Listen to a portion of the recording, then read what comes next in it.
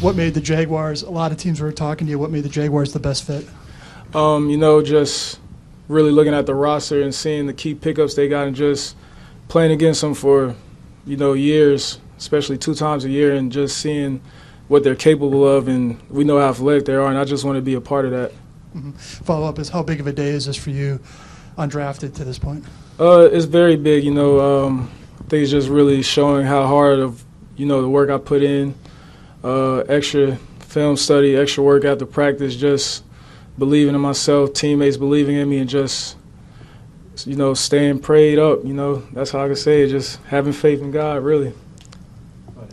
AJ, congratulations. Uh, w- was it appealing having Jalen Ramsey here as well and getting a chance to play with him? Oh yeah, definitely. Um, I became a fan early. Uh, I watched him, you know, in college at FSU. You know, I got some friends that are Seminole fans, so they was always talking up about him. And then checked him out the first game. I liked what I saw, but that second game we played against, you know, I, I was like, he he really has the talent, you know, to be one of the best corners in the league.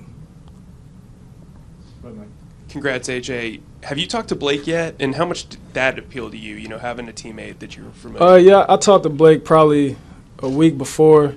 Um, he was just basically telling me about the city, and you know, me and my dad sat there and was talking to him, and just listen to him, you could tell that he's really focused. Uh, I know a lot of people has been giving him a hard time, but you know, everybody mess up in the league. It's it's the NFL. You're not going to be perfect, and you know, I I judge a lot of people by how they bounce back or like you know, if they're relentless or not, how they face adversity. And one thing is, he he said he's focused. He's in California right now, and I could just hear it in his voice, like he's just ready to go.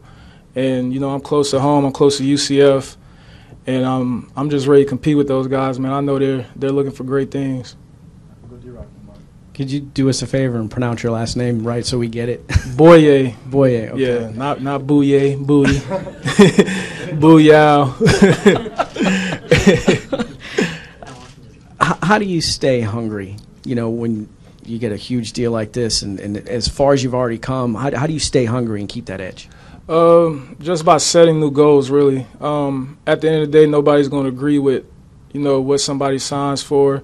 They're always going to put a label on you. You're, it's not your job to focus on that. Just control what you can. And, you know, I be talking to everybody about it. It's just what can you do every day to get better as a person, you know, on and off the field. And what are your goals? If your goals are aimed high, you're going to do whatever you can to get better. And like I said, just believing in yourself. If you want to be the best, you got to put in the work to be the best.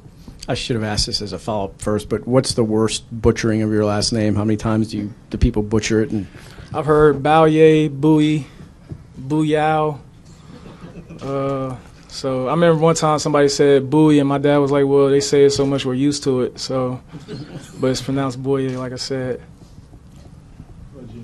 AJ, you talked about about wanting to team with Ramsey and how athletic this team is, but uh, let, us uh, cut, cut the chase. How much did the money factor into it as well? Uh, I mean, at the end of the day, you know that did cut into it, but at the same time, it was an opportunity. You know, felt like it would be a fresh start. Uh, even though it had something to do with money, you just look at the pieces that you had around you. We just signed Calais, Barry Church. Like I said, we played them two times a year. Just how athletic they are. We all the games that they lost, they were close. You know, so we knew what they were capable of, and like I said, just to play with somebody like Jalen and the other piece they got, AC. I was talking to him. I trained with him, and you know, I just I just knew that I could come here and definitely help this team win and just to compete. Un- undrafted guy, not a starter to start last season, correct? Uh, I started probably 11 games, I think right. they said. But uh, was there a point last year where you go, okay, this is going to happen, where you you knew you were going to get the the big payday?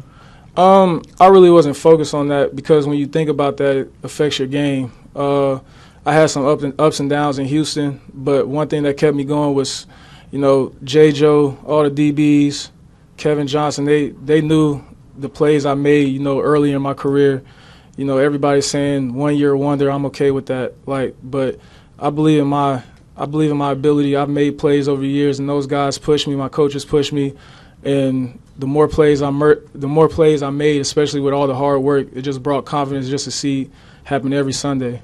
And then, secondly, Tom Coughlin, did he have any uh, effect on you coming here, or uh, yeah, definitely. You know, I was doing my research. Uh, I seen the Super Bowls he won in New York, and I seen the staff. I was doing my research on the staff, the coaches, and just what they was bringing to the table, their resume and everything. And I just knew that they were- they're trying to turn this around and they're trying to win now. And that's one thing Coughlin told me today, and you know that got me really excited. I'm just ready to go to work. AJ, has it hit you yet that you're going to be playing your former teammates twice a year now, and and how prepared are you to kind of go against them? I couldn't sleep last night because I was thinking about it. No, I'm I'm serious. So you know, so you're gonna you're gonna go from putting smiles on Houston fans' faces to putting frowns on them. Are you prepared for that? I mean, I'm in it to win. I think we all are. Like we're we're all friends, like off the field, but there's no friends on the field. They'll tell you that. Like we'll shake hands afterwards, but it's war. That's how that's how we all look at it. You mentioned Johnathan Joseph. How much did him and Kareem Jackson help you, and how much can you pass that on to some of the guys here?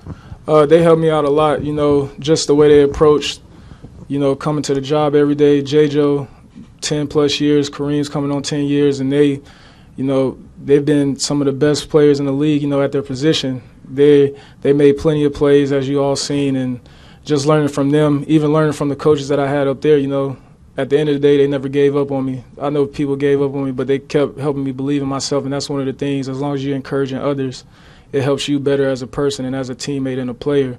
Because when you're encouraging others, you want to play for each other. You have a pretty good relationship with Aaron Colvin, right? Yeah. Did he do a lot of recruiting? Uh, I mean, not really. Like I said, I trained with him last year. Uh, I talked to other players, you know, with Houston, with other teams, and they was like, this will be a good opportunity, fresh start. Just looking at like the pieces that we got in free agency and who they already had and the direction that they're going. So I talked to them, you know, once a week. We talk about other stuff besides football, and I just asked them about the city. I asked, you know, Blake about the city, and they basically was just saying like it's pretty much pretty much stuff to do here, but it helps you focus, and that's one thing, just eliminating distractions. Oh, oh, uh, AJ, the Texans have built up a reputation as one of the best defenses in the league. Now that you see what the Jaguars have here, do you think that they can be in that top five, top five realm in the league? Uh, I believe so. They they finished as one of the top defenses in the NFL last year. Like I said, the record might have not shown, but you've seen what they were capable of. And like I said, I'm coming here to work, and I want to make sure I could, you know, help out as much as possible, get them number one.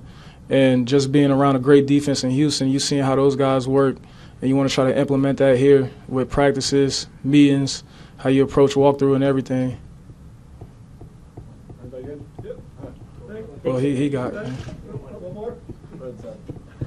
All right, in the AFC, no matter who you play, whether it's you know AJ Green or Julio in the NFC, who's locking up the number one receiver on this Uh, team?